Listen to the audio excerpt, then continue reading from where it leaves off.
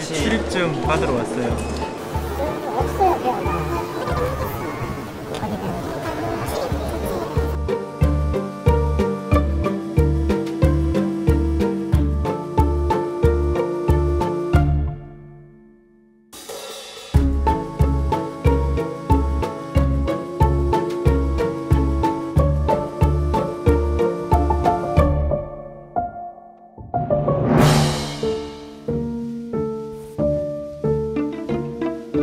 저희가 변호사님을 좀 모셔야 되잖아요. 예. 조금만 기다려 주시겠어요? 그렇게 하겠습니다. 네.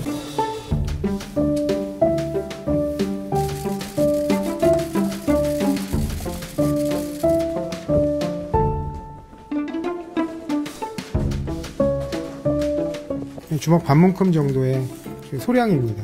찢어진 메모 용지는 뭐 어떤 용지? 아니 뭐 특별한 내용이 없는 건데요. 책상에 찢어진 메모 용지가 있다는 걸 그냥 가져가시고